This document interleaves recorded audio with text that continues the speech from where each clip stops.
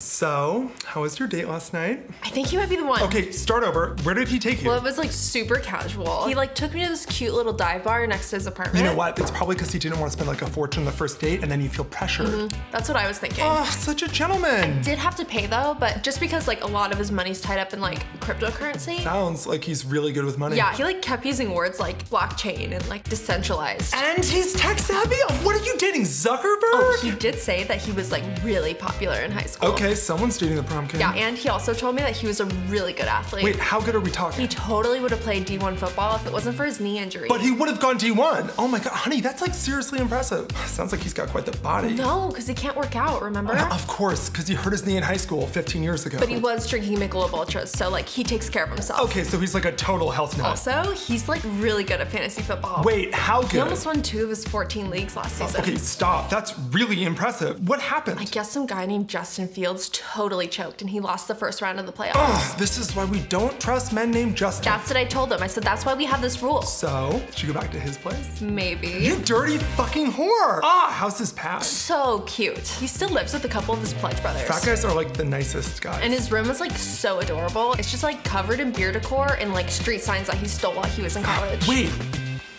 but do they have enough TVs? At least one on every wall. Sweetie, you need to lock this one down. They do not make them like this anymore. Oh,